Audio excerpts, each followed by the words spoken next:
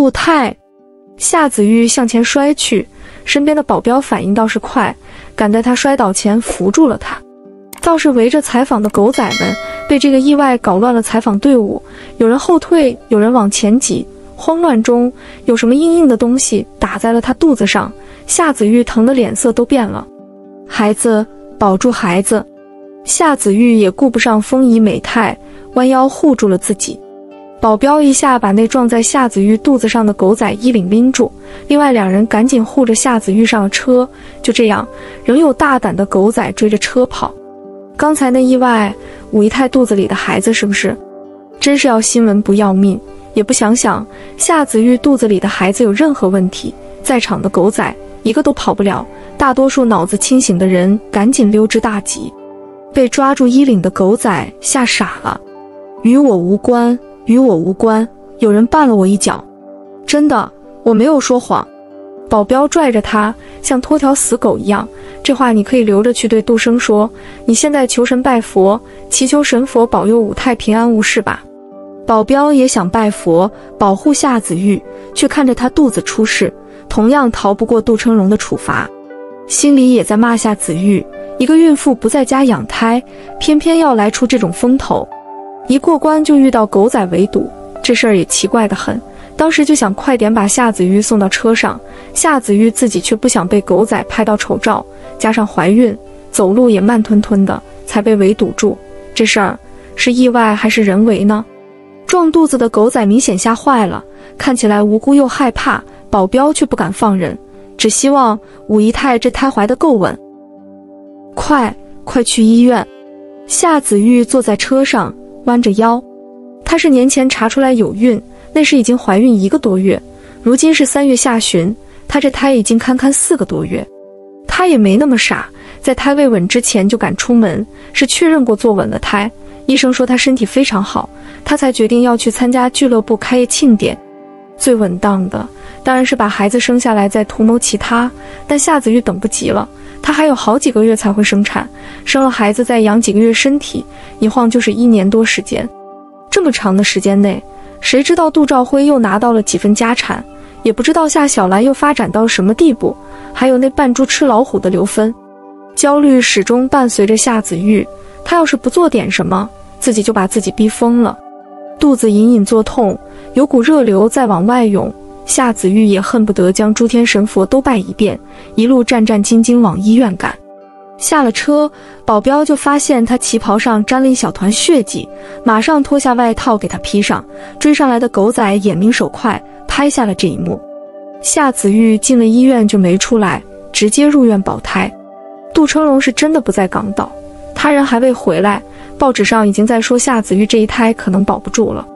这些狗仔哪敢写因为自己的围堵才让夏子玉出了事，只说武泰养胎不忘出风头，一天内要往返内地和港岛，为内地某高尔夫俱乐部剪彩，这种行程安排就是不适合孕妇的。狗仔也知道八卦市民想看什么，很是鼓吹了一番高尔夫俱乐部的高标准。不知是他们有能耐，还是有心人刻意透露，竟让他们把俱乐部的入会条件弄清楚了七八分。亿元资产为门槛，五泰获邀高级会员资格。被问及四泰，五泰黑脸，慌乱出错，入院保胎。啪！刘可盈将手上的报纸扔下。入院的路上就见了红，港媒都猜下子玉这胎已经流掉，刘可盈却知道还没掉。刘可盈冷笑：“我让他爱出风头，什么高尔夫俱乐部，他算老几，能代表杜家去剪彩？其实摸着良心说。”剪彩这种事，刘可盈受宠时也没少干，不过都是些慈善活动，邀请他过去，他图个面子和新闻版面，主办方则图他多少会捐款。商业活动就非常少了，刘可盈又没有担任集团职务，就算偶有出席，也是以杜成龙女伴身份受邀，单独去，可是一次都没有。如果夏子玉都能代表杜成龙了，他这个跟了杜成龙十几年的枕边人算什么？刘天全胖得像一尊弥勒佛，出手前百般顾忌，出了手就再无后悔的余地。弄掉夏子玉肚子里那块肉，是刘天全和刘可盈春明宴后就有的想法。他们一直在苦等机会。刘可盈盯着夏子玉的一举一动，他在等对方张狂犯错，同时也盯着杜兆辉的行踪。他在等栽赃的时机，但小崽子如今也谨慎，离夏子玉远远的。这个高尔夫俱乐部开业庆典，两个讨厌鬼终于碰面了。刘可盈听说满城狗仔闻风而动，在海关苦候夏子玉，他实在忍不住心头的愤怒了。幸好这次他大哥刘天全也足够给力，马上安排了应对的招数。可惜。没有当场把他的孩子撞掉，这骚狐狸身体底子倒不错。杜生接到消息，肯定会回港。等他回来，我们就没了机会。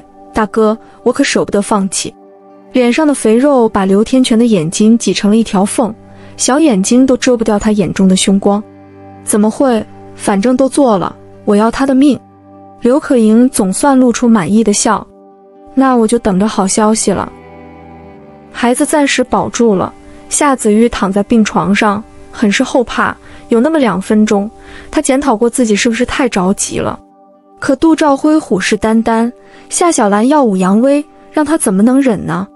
这不是他的错，是别人的错。给杜太加药的，进去吧。一个护士经过仔细检查，被放进来，冲夏子玉露出甜甜的笑容。杜太有没有感觉舒服一点？医生说您的身体很好，再输两天液，你很快就能出院了。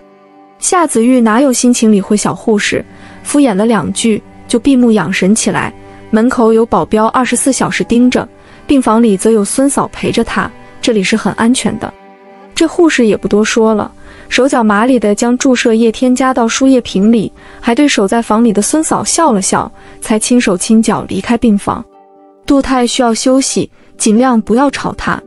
夏子玉觉得眼皮越来越重，医生倒是说过，他现在特别需要休息，所以输液时会想睡觉，这是正常反应。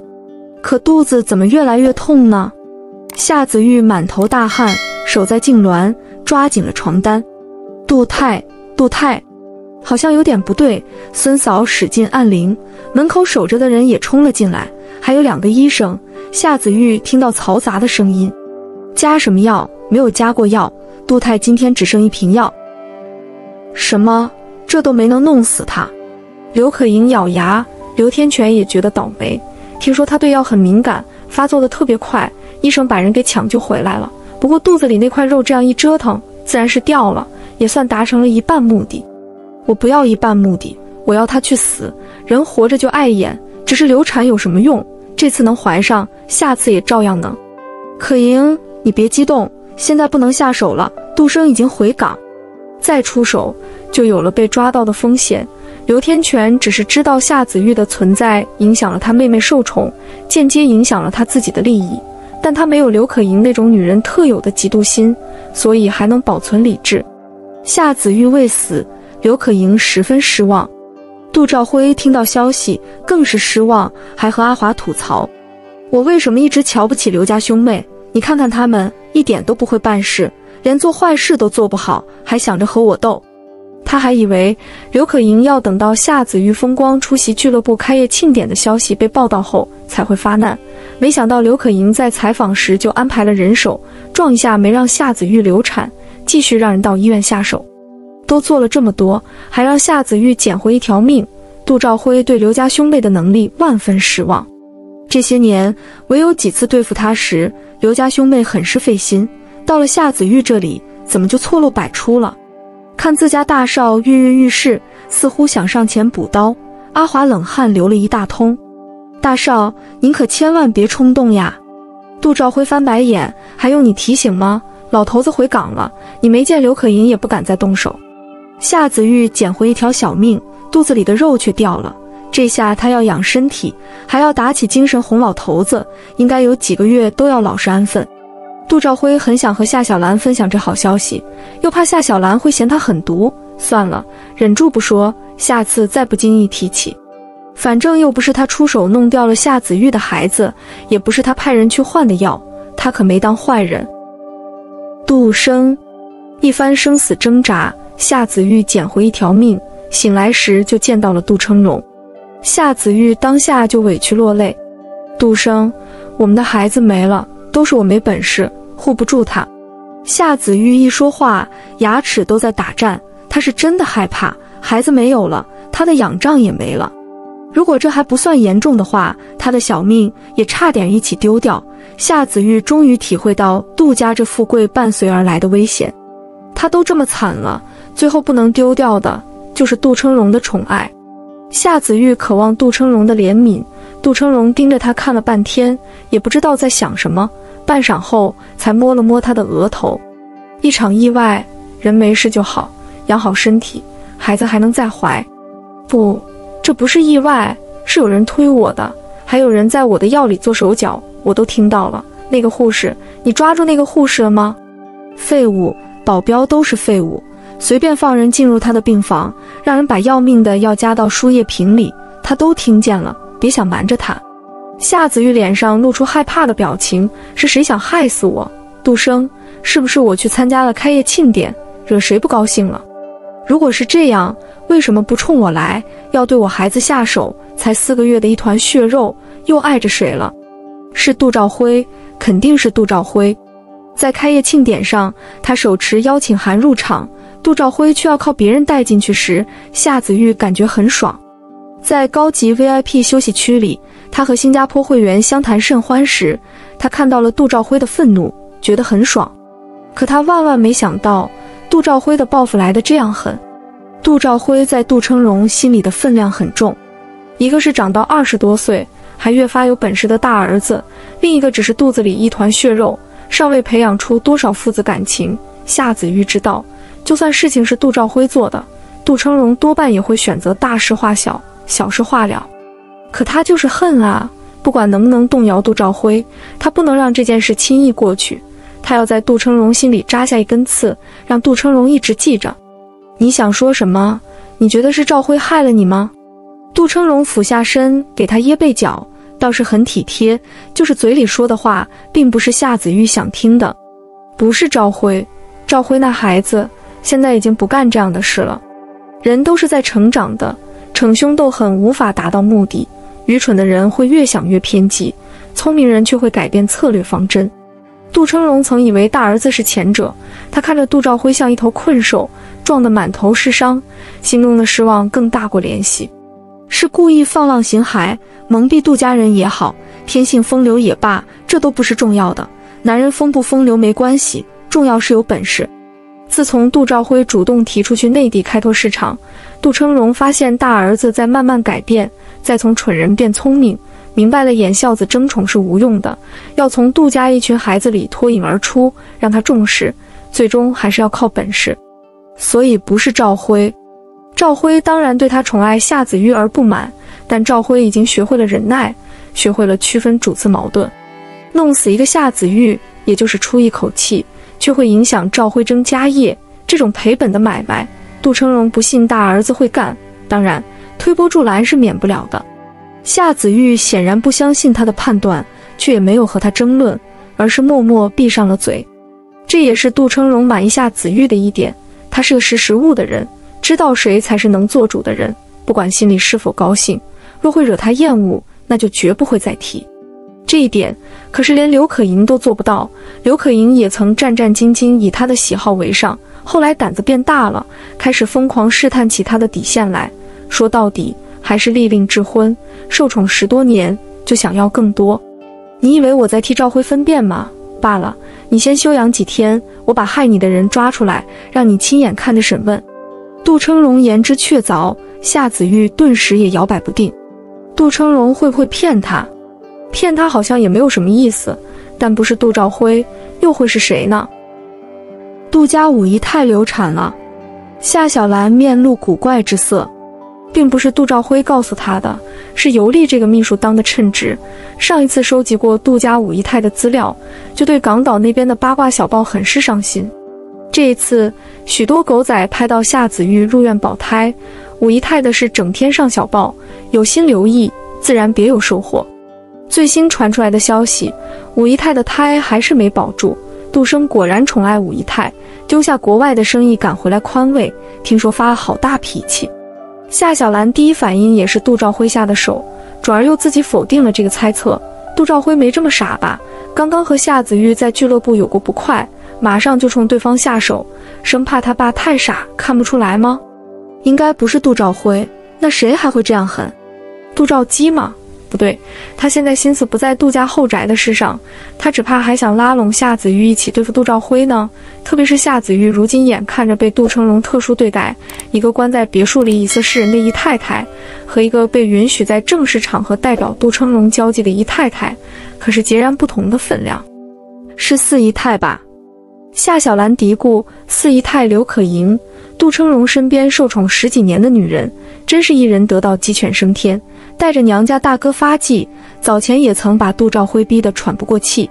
刘可盈非常霸道，因为是家庭教师爬床，当上了杜家四姨太。刘可盈总觉得别人瞧不起她，和看起来富贵端庄的二姨太、贤淑温柔的三姨太都不同。谁得罪了她，她是马上要报复回去的。靠着这样恃宠而骄的跋扈，刘可盈在杜家站稳了脚跟。这都是杜兆辉要收拾刘天全时告诉夏小兰的。早晚有一天，我要让刘可盈自尝苦果，跋扈的苦果。当时杜兆辉是嬉皮笑脸说的，现在想起来，杜兆辉还真是会忍耐了。以前动不动就说要把谁绑了石头沉海，最近也不说了，懂得借刀杀人了呀。刘可盈要置夏子玉于死地，这仇是自打夏子玉进杜家门就结下了的。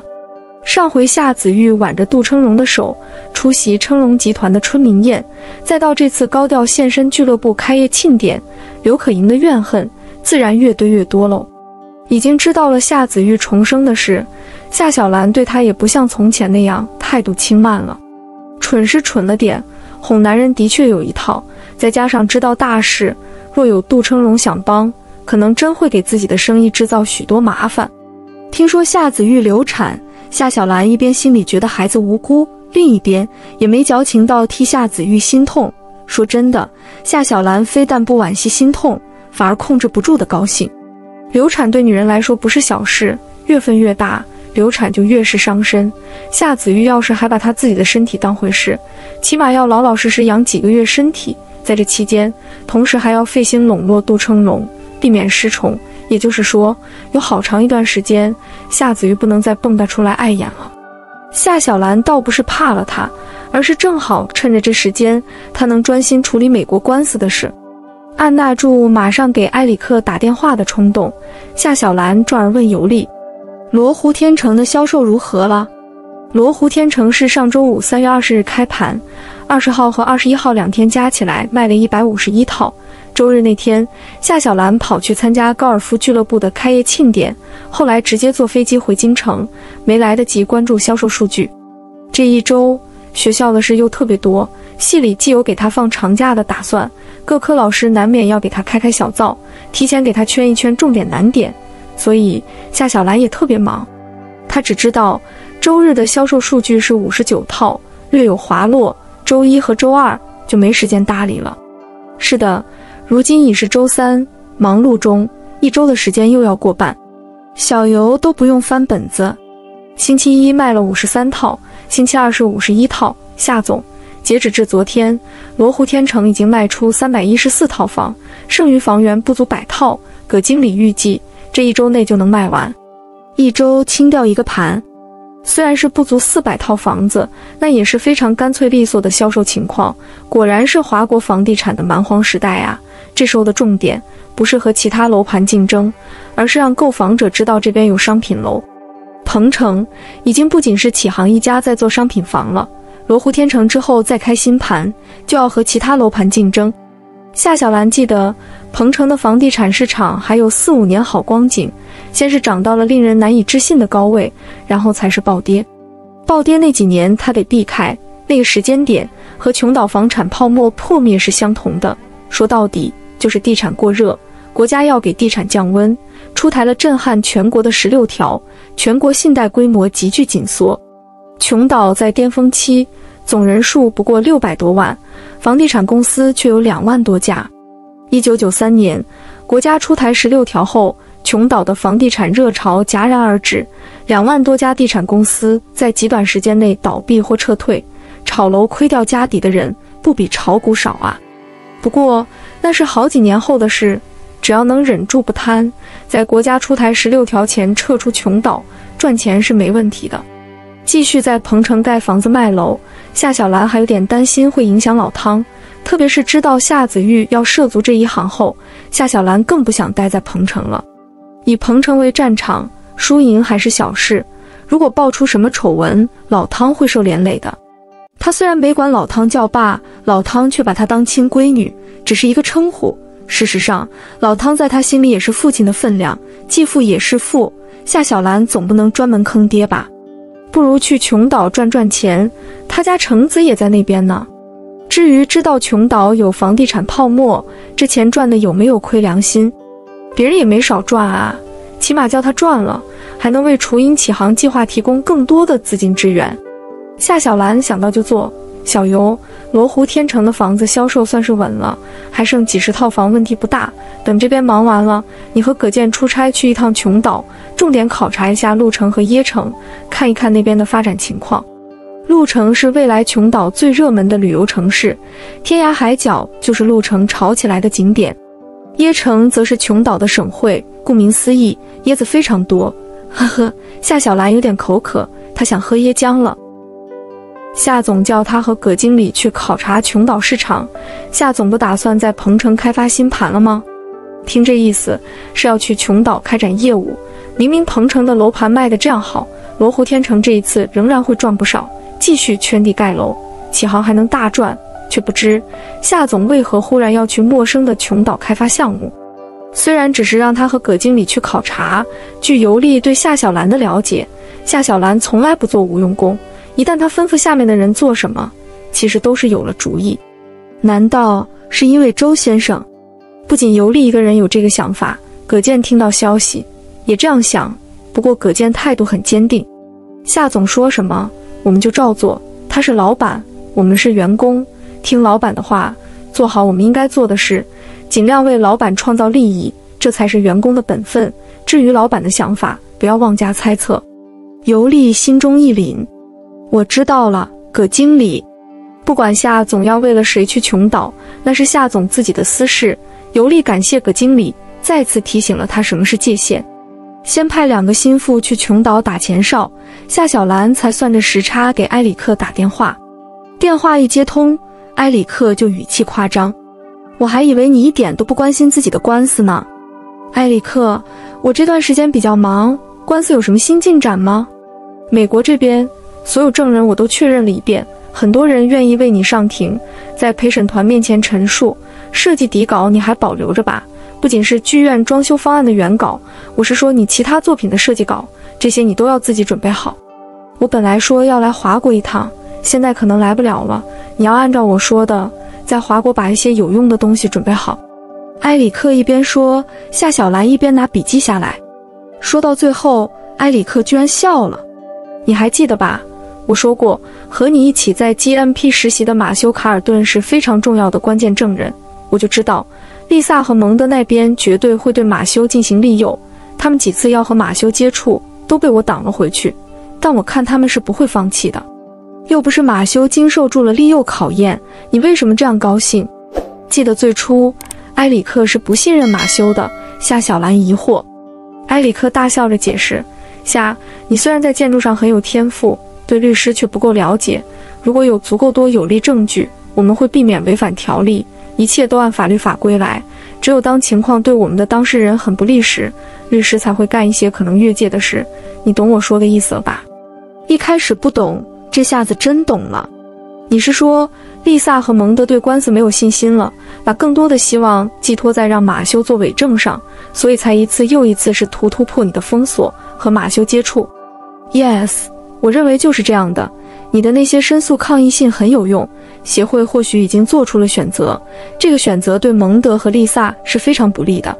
协会已经做出了选择吗？上次评审团领导和宁艳凡通过电话后，可是一直没有后续反馈呢。夏小兰还以为对方是铁了心要一条路走到黑，站到蒙德道森那边，坚持他们自己的判断不改变。听埃里克的说法，事情却不是这样的。而且埃里克猜测，正因为迟迟搞不懂马修这个关键证人，丽萨那边一直在拖延时间。收到传票和起诉状这么久了，丽萨作为被告，至今没有向原告夏小兰送答辩状。按照美国联邦法院的规定，这个时间限定是二十天。答辩状有三种形式：否认、积极抗辩、独立救济请求。他的律师还没选定用哪一种形式，没有 AIA 的支持，丽萨那边的证据更单薄，所以他们仍然在拖延时间。但在法院规定的最后期限内，被告必须要交答辩状，他拖不了多久了。没有搞定马修，丽萨也会硬着头皮打官司。等他交了答辩状，法院是不是就会通知开庭时间了？是的，所以你要做好随时来美国的准备，你要尽快把我让你准备的东西都做好。马修不帮丽萨做伪证的话，他会把希望寄托在剧院项目的委托人辛西亚·威尔逊身上。你说过，这位夫人是不会放过任何能让你难堪的机会。没错，威尔逊夫人终于等到了这天。夏小兰在他面前不乖顺，他总算有了让夏小兰吃个大亏的机会。威尔逊夫人会怎么做也没有悬念。杜兆辉让人偷听来的磁带里，夏小兰已经听到了威尔逊夫人的话。对方绝对会用看似真诚的证词去误导法官。我已经有心理准备。夏小兰再次强调了一次，这是一个持久战，我会面临丽萨的反诉，甚至法庭宣判后，对方依然不会放弃上诉。这件事既然闹大了，不管我俩谁输，都是输掉前程。丽萨就算是输，也会用冗长的诉讼程序折腾我，这就是他能做的。我不怕他，并且会奉陪到底。不就是要一次次飞美国吗？对方以为他是华国学生，折腾不起，却不知华清大学给予了夏小兰何等大的支持。他可以全心应对 AIA 的考核，应对这场官司，这两件事完全可以合二为一看待。蒙德先生，这件事无法拖了。办公室里，律师将自己整理出来的资料放在桌上。此时只有蒙德、丽萨和律师三人在这间屋子里，大家说话自然没有顾忌。作为律师，最忌讳当事人的隐瞒，哪怕是杀了人，也要对律师说清楚过程，方便律师找到能脱罪的细节。实在不能脱罪，还能争取轻判呢。对律师隐瞒事实真相才是最蠢的做法。律师事前毫无准备，开庭时被对方甩出来的证据打得措手不及，最终吃亏的还是不说实话的当事人。所以在接下案子没多久，律师就知道了事实真相。看在钱的份上。真相是什么并不重要，他只想打赢这场官司，但这需要丽萨或者说是蒙德的配合。蒙德将一个联系方式放在桌上，那就联系我们的证人吧。丽萨，你知道输了官司意味着什么？我希望你能赢，不赢的话，他也会非常难堪。不用蒙德说，丽萨也能感到压力。官司输了，蒙德顶多被人质疑几句，怀疑他的判断，而丽萨却不行。他是不能输的。丽萨拿到威尔逊夫人的联系方式，不管怎么样，她一定会说服对方出庭作证。这联系方式却是美国的，是威尔逊夫妇在上东区的豪宅座机号码。房子已经被查封了。丽萨打了好几次电话，都是石沉大海。她都快绝望了。这时候才想起还有百老汇剧院可以试一下，那里是威尔逊夫人名下的产业。谢天谢地，丽萨找对了。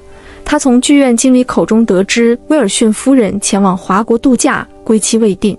我需要联系到他，你就说是蒙德道森先生让我来的。再说了，你还记得我吧？在剧院翻新时我们见过，我设计了这座剧院的内饰装修。当然，我还记得您。听说您在打官司，为了剧院的设计方案打官司。剧院经理恭维了丽萨，她可真棒，很多人喜欢她。重新开业后，我们的票经常卖光。高高的穹顶卸下令人迷醉的星光。是的，她可真美呀！一个华国学生将一个不著名美国女建筑师告上法庭，这样的官司为什么会有报纸和电视台关注？不是原告和被告有名气，是这座剧院。它重新开业后，如同夏小兰所料，成为了网红剧院。因为受到年轻人的喜欢，刚好《纽约时报》做了一期百老汇的专题报道，网红剧院以其独特年轻的风格脱颖而出。《纽约时报》的报道没多久，就发生了打官司的事，理所当然的，官司也受到了关注，有新闻性，有故事性，在媒体的关注下，赢了官司会名利双收，输家则一败涂地。丽萨拿到新的联系方式，迫不及待地联系威尔逊夫人。你好，夫人，蒙德先生说。蒙德说什么不重要，丽萨，重要是你说什么。你想做什么？我一直在等待你的来电。谢天谢地，你没有让我等太久。威尔逊夫人的声音是如此热情，丽萨也忍不住笑了。看来威尔逊夫人仍然是和夏小兰处于仇敌状态。夫人，我需要您的帮助。丽萨，我会尽美国公民的义务，在法庭上说出我所知道的一切。请原谅我以前对你的苛刻。我想要得到更好的效果，我们产生了不少冲突。你是剧院最大的功臣。丽萨的心落定了。威尔逊夫人答应她会回美国作证，只等确定了开庭时间。有些话是不能在电话里说的，必须要双方见面，在私密的场合说。这已经是丽萨非常满意的结果了。你真的要出庭作证吗？是的，为什么不呢？威尔逊夫人仔细保养着脸部，最近她的皮肤光泽一点都不好。她应该做一次更全面的深层保养，要用到美容仪器的那种。该死的，她这时候应该去瑞士，而不是待在落后的华国。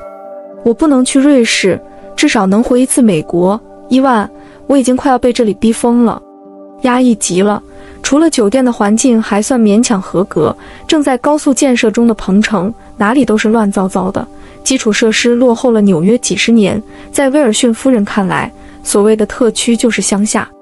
老伊万摇头：“你回美国散散心可以，但出庭作证，我仍然不赞同。这并不是我们目前最重要的事。女人啊，容易被情绪操控的生物，十个女人中有九个都做不好情绪管理。但他也没有强硬去拦着，重要给辛西娅一个发泄的渠道，否则不等到两人的计划成功那天，辛西娅就会先崩溃。辛西娅阿姨，我能进来吗？是蒂娜的声音。”夫妇俩很有默契，终止了谈话。伊万去开门，蒂娜穿着职业套裙，只是忙完了俱乐部的开业庆典，蒂娜还真得到了不少锻炼。我升职了，我可以跟着比尔工作了，我可以接触到。话说到一半，蒂娜捂住了自己的嘴巴。西西亚都意外，你这么快就升职了？蒂娜理所当然点头。高尔夫俱乐部就是和有钱人打交道，有钱人喜欢喝什么酒，他们喜欢穿什么。用什么？他们喜欢的品牌，不管怎么看，我都比俱乐部大部分人有经验吧？他们为什么不升我职？那倒真是，俱乐部所有工作人员都要经过培训上岗，可别人教的和自己体会过的毕竟还有差距。蒂娜是从小就在有钱家庭长大，如果她愿意的话，总能和会员说上话。只要不谈生意，她和会员之间还是有很多话题可以聊。幸好会员也不会和蒂娜谈什么正事。这倒是让蒂娜能扬长避短。开业庆典让蒂娜狠狠发挥了一下超能力，在和会员协调沟通方面，他表现的居然还不错。开业庆典后，比尔就找他谈话，询问他个人的意见。从给即将员打下手，负责会员登记等文书工作，到负责维护会员关系，这样的升职速度让蒂娜自己都有点飘飘然。虽然他去实习是另有目的，但真的被人看中。也让蒂娜颇有成就感。威尔逊夫妇对视一眼，辛西娅随即拥抱了他。亲爱的，你能做的比我们想象中更棒，我们以你为荣。蒂娜信心满满。你们再等等，再坚持一下，我一定可以办到那件事。威尔逊夫妇轮流给他灌了迷魂汤。蒂娜离开房间时还晕乎乎的，她没有马上回房，想了想，反而朝着楼下走去，最终敲响了于奶奶的房门。于奶奶打开门，很是莫名其妙。除了她强制要求，蒂娜从不会主动来找她。这是发生了什么事？蒂娜也不知自己为什么要跑来，就是有股冲动，让她要来告诉这个严肃的老太太：“我升职了，只要我愿意，我也能在工作上得到认可。”话说出口的一刻，蒂娜恍然大悟：或许这段时间她已经被老太太虐出了毛病，她竟然在期盼得到奶奶的认可。如果发现她够优秀，这个老太太还会不会坚持说，只是要和他维持面子情呢？蒂娜没料到，于奶奶听了她的话，瞬间脸就黑得像锅底。如果亲子鉴定不是由夏小兰监督，蒂娜是徐家孩子，这个结果她真是打死都不信。徐家不会有这样蠢的孩子，哪有这么快就升职的？威尔逊夫妇在让蒂娜干不好的事，哈罗德那边肯定心知肚明。这样简单的事。蒂娜居然想不明白。